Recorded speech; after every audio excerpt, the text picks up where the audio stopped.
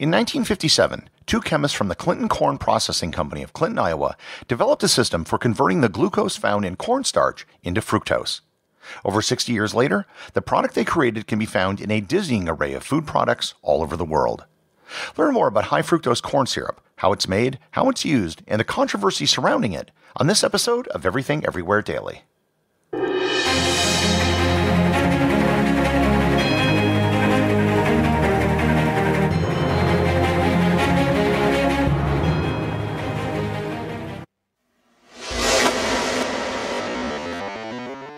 Humans ate very little sugar. No matter where you lived, your diet consisted of some combination of meat, grain, vegetables, dairy, and nuts. Even fruit, which does have sugar, was only available in season, and even then, they weren't eating the same type of fruits that we're eating today. Modern fruits were crossbred over centuries to be higher in sugar content than they would have been in nature. Despite not consuming very much sugar, humans really like sugar. It was much of the reason for the European expansion into the Western Hemisphere. The problem with sugar is that it's very picky about where it can be grown. Sugarcane needs a tropical climate, which naturally limits how much of it can be grown. This limited sugar to being a luxury product until the 19th century. The thing which increased sugar consumption was the development of beet sugar from sugar beets. This allowed sugar to be produced in non tropical areas. As successful as beet sugar was, there were some who thought that maybe there was even a better way to produce a sweetener. This led two chemists, Richard Marshall and Earl Kooi of the Clinton Corn Processing Company of Clinton, Iowa, to develop a process that could turn glucose found in cornstarch into fructose.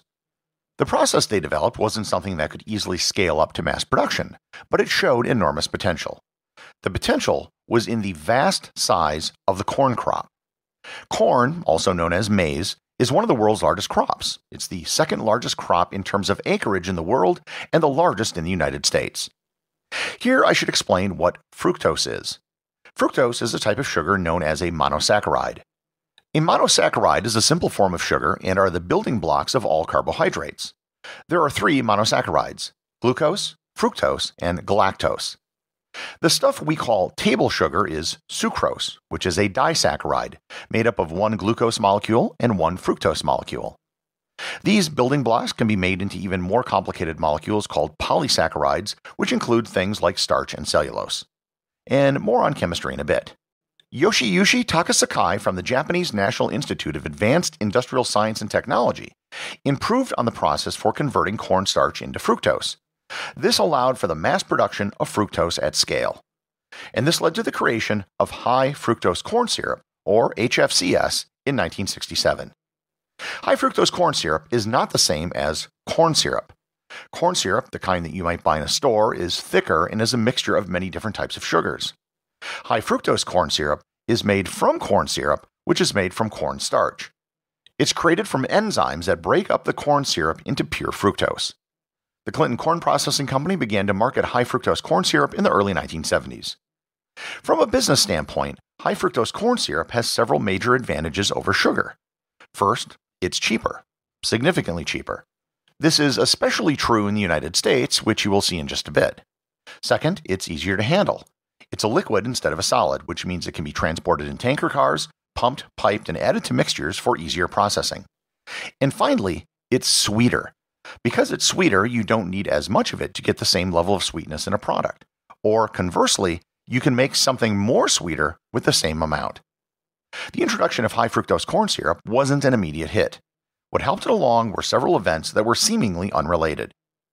The first was the sale of corn in 1971 by the United States to the Soviet Union. This was a massive amount of corn which caused the price to spike. Farmers began planting as much corn as possible to meet the new demand. A few years later, corn subsidies were increased, encouraging farmers to continue planting corn fence row to fence row because they had guaranteed money. With all of that corn being produced, there was a need to find more markets for it. Large agribusiness companies like Archer Daniel Midland pursued two major markets ethanol and high fructose corn syrup. The production of ethanol and high fructose corn syrup actually isn't radically different. In the case of ethanol, the wet mass of cornstarch is allowed to ferment into alcohol, and an enzyme is simply added with high fructose corn syrup. Ethanol didn't take off immediately because gas prices fell after the 1970s oil embargoes. High fructose corn syrup didn't take off either because world sugar prices plummeted. After a peak in 1974 of 65 cents a pound, it dropped to 9 cents a pound. However, in 1981, quotas were placed on sugar imports into the United States, and overnight, sugar became more expensive than high fructose corn syrup in American markets. By 1984, both Coke and Pepsi had switched from sugar to high fructose corn syrup as the sweetener for their soft drinks. While they didn't run advertisements announcing the switch, they also weren't really hiding the fact.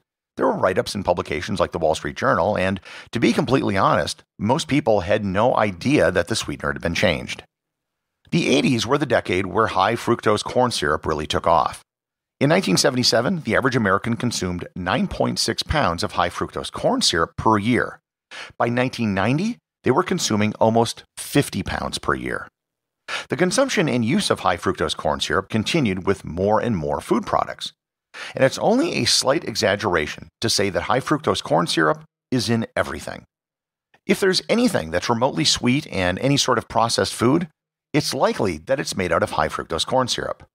That maple syrup you enjoy on pancakes and waffles, if you look closely, it probably only says maple flavored, and the number one or number two ingredient is high fructose corn syrup. Condiments such as ketchup and barbecue sauce have it, jams and jellies have it, breakfast cereals, fruit juices, applesauce, and ice cream all use high fructose corn syrup. However, it isn't just in sweet products, it's in a host of products that you would probably never expected. Chicken nuggets and other prepackaged meats, such as deli meats, have high fructose corn syrup. Breads, crackers, and other baked goods all have high fructose corn syrup added. Salad dressing, soup, yogurt, canned vegetables, canned fruit, cottage cheese, peanut butter, pickles, and many, many other products all have high fructose corn syrup as an ingredient. In fact, I encourage you the next time you eat anything which comes packaged or pre made to look at the ingredients. Odds are you will find high fructose corn syrup, or if not, soybean oil, which is another episode. While the high fructose corn syrup revolution started in the United States, it has spread worldwide. The United States exports the majority of high fructose corn syrup in the world at 71% of the global market share. But other world leaders include Canada, Mexico, Japan, and South Korea. So, there's a lot of high fructose corn syrup in food products. So, what's the big deal? Before I get into that, let me go back to a little bit of chemistry and biology. The way our bodies metabolize any carbohydrate, including fructose, is that it has to convert everything into glucose. This is done in our livers. However, we can only keep so much glucose in our bodies. On average, there's only about one teaspoon of glucose in our bloodstream at any given time. A bit is stored in our muscles and liver, and the rest is converted into fat by the hormone insulin. For this reason, many people blame the global rise in obesity rates on high fructose corn syrup consumption, or at least consider it to be a significant contributing factor. There is certainly a strong correlation between high fructose corn syrup consumption and obesity rates. But if you remember back to my episode on correlation not necessarily implying causation, just because two factors increase together does not mean that one thing caused the other. So, what could be the causal reason why high fructose corn syrup causes obesity? There are two reasons usually given, and both of them could be true. The first is that there's something unique about fructose that's different from sucrose. There might be something in the process of metabolizing fructose that is worse than just consuming regular table sugar. There have been many studies linking high fructose corn syrup to cancer, heart disease, and a host of other problems, but again, they only show correlation, not any sort of causation. The second, and probably a large contributing factor, is that we consume so much high fructose corn syrup. The average American consumes 40 pounds or 18 kilograms per year, and some countries are even higher. Before the creation of industrial produced sweeteners, it would have been almost impossible for someone to consume that much fructose. The cheap cost of high fructose corn syrup has made it ubiquitous and allowed for such abnormally high consumption rates. It might simply be a matter of eating too much because it's been put into everything. Placing high fructose corn syrup into so many different food products isn't necessarily a conspiracy, it's just business. Due to sugar tariffs and corn subsidies, high fructose corn syrup became the cheapest option as a sweetener. And the reason it's in so many products? Because people like it. People like sweet foods. High fructose corn syrup consumption has decreased over the last 20 years, but it's still extremely high, far higher than it was, say, 50 or 60 years ago. Nonetheless, absent changes in corn subsidies or sugar tariffs, economics will dictate that high fructose corn syrup will remain the preferred sweetener in most of the world for the foreseeable future. Everything Everywhere Daily is an Airwave Media podcast.